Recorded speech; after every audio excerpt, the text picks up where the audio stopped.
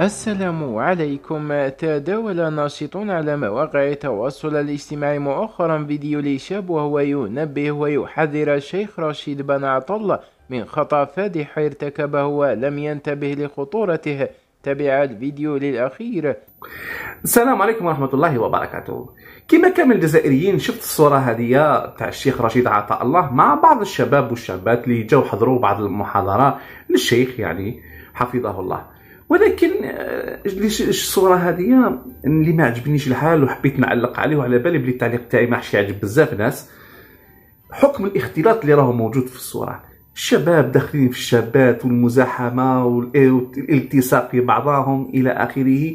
أنا تسألت في نفسي الشيخ رشيد لماذا لم ينكر عليهم هذا الاختلاط؟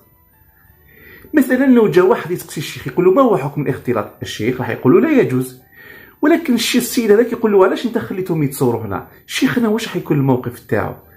حبيت فقط نقول لا مجاملة في الدين ولا مداهنة في الدين وهذا هو ثمن الشهرة اللي يخليك تتنازل على بعض الأمور. والسلام عليكم ورحمة الله وبركاته.